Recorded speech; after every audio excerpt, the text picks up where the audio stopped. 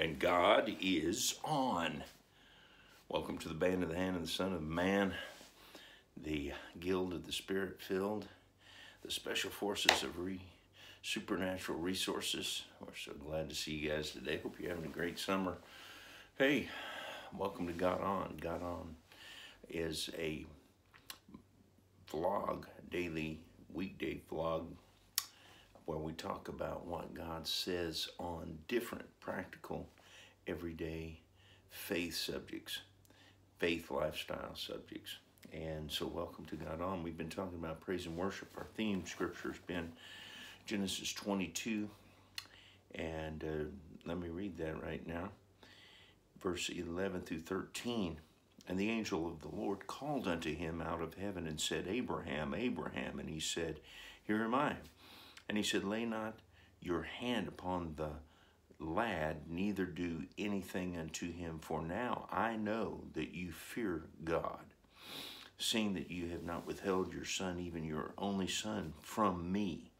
And Abraham lifted up his eyes and looked, and behold, behind him a ram was caught in the thicket by his horns. And Abraham went and took the ram and offered him up for a burnt offering instead of his son. Abraham called the name of that place Jehovah Jireh, as it is said to this day, In the mount of the Lord it shall be seen. So, in other words, one of the first covenant names of God is Jehovah Jireh. The Lord will provide himself a an offering. The Lord will provide himself a seed. The Lord will provide himself a ram, a sacrifice in the Old Testament way of thinking. So thank God Jesus is the final and last sacrifice. He said it is finished. We've gone from the sacrificial system to the seed system in the New Testament. Speaking of the New Testament, our theme scripture in the New Testament is Romans 12 1. Uh, and it says, Be, I beseech you, therefore, brethren, by the mercies of God, that you present yourself a living sacrifice unto God, just like Isaac, that you present your bodies a living sacrifice unto God, holy and acceptable. holy and acceptable unto God, which is your reasonable service, and neither be conformed to this world, but be transformed by the renewing of your mind, that you may prove what is a good and acceptable and perfect will of God. So, in other words, here's the twofold, the two horns of the ram of Jireh. Uh, that you present your bodies and that you uh, be transformed in your mind. And that's basically what praise and worship is all about. It's the conquest of the two last dynasties that need to be brought under the control of the Holy Spirit. Okay? Our spirit man is born again once we accept Christ and we enter into the kingdom of God. We confess Christ is our Lord. We confess with our mouth and believe in our heart that He is risen from the dead. And uh, we're born again. but then, after we're born again, we have to conquer this. We have to cast down imaginations here, and we have to uh, cause this body or this flesh, okay, to come under control. So we have to con- we have to transform our minds, and we have to bring the lust of the flesh under control. How does that happen? Well, it, it happens by praise and worship, the twofold witness, the cloven tongue of fire of the baptism in the Holy Spirit. All right? And have you been baptized in the Holy Spirit since you believed? And that's the big question. So there's another definite work of grace for us as we're walking with Christ, even after we're born again. It's called the baptism of the Holy Spirit, Acts 1 8.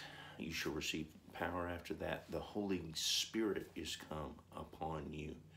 See, Christ comes within us, and the Holy Spirit comes within us when we're born again. The disciples were already uh, receivers of the Holy Spirit. The night after Jesus rose from the dead, he breathed upon the disciples in the upper room and said, Receive the Holy Spirit. But then he said, The Holy Spirit will come upon you, and you shall be a record of God, a, a record of me in the earth, and that happened on the day of Pentecost. So when the day of Pentecost came, there were cloven tongues like a cloven hoof of a of a uh, deer or a uh, cow, cloven tongues of fire that sat upon each one of their heads, representing praise and worship. representing the twin horns of Jireh, of Mount, of the mountain of the Lord, which is Zion, which is the headquarters of praise and worship, which is the headquarters of the temple, and also the palace of the king, Mount Zion. Both of those buildings were there. So you're a king and a priest. We're called to be kings and priests unto God, to offer up the sacrifices of praise and also to offer up worship unto God. Now, we've been talking about God's alarm clock, which is the shofar, uh, in the past few days. But now let's talk for a minute about the holy anointing oil. So, the Ram of God, Jesus being the Lamb of God, according to John the Baptist, sent to take away the sin of the world. Abraham saw the ram caught by both horns in the thicket. The thicket was the thorns. Jesus wore the crown of thorns. The corn is uh, the thorns, rather, are symbols of the curse. Okay, so Jesus was caught by his horns, power and authority. He has all power. He has all authority. Those are the horns. It's the power horn of praise, the authority horn of worship. he was caught by his horns in the curse on Calvary. He was sacrificed, he was offered up, and Jesus said, Abraham saw my day and was glad. So God gave him a revelation and a vision of what Jesus would do for us as our Messiah, our Christ, our Lord, to save the world. And in the mountain of the Lord, the vision shall be seen. It's the Jehovah Jireh place. That's where the vision is seen. That's where the vision takes place. All right, in the mountains of Moriah, one of those mountains is Calvary as well as Zion. So let's look at the horn of worship. The holy uh, anointing horn is brought to light in Scripture back in the days of uh, God's command to Jehovah to Samuel to go and anoint David, the son of Jesse, in the town of Bethlehem. First uh, Samuel 16:11. You remember Samuel was the last of the judges, the book of Judges. Israel wanted a king, and so uh, first of all, previously Samuel had anointed the first king of Israel, Saul, with a with a vial of oil. So it was a box. It was some kind of a man-made container according to 1 Samuel 10.1. It means a man-made flask or a box. So God rejected Saul from being king. He was the man-made king. He had a man-made anointing. Uh, we, don't, we don't need uh, some type of manipulated anointing, man-made anointing. We don't need fire from off of a man-made altar. We need holy fire. All right? So God rejected Saul from being king because of disobedience and pride and arrogance, cutting off his his dynasty, his man-made line of anointing. the anointing made from men can't compete with the anointing horn of worship and authority from uh, the Ram of God, Jesus the Messiah.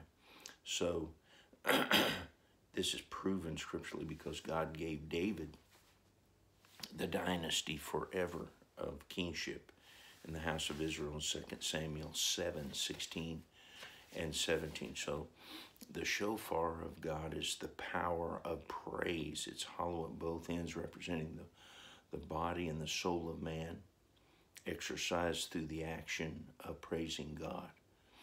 All right? The holy anointing horn is hollow at one end, and it's representing only the spirit of man, uh, or the yeah, the absolute, absolutely spirit of man worshiping in spirit and in truth.